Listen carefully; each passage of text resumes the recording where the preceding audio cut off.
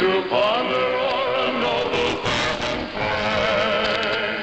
and smile when evening falls, and smile when evening falls.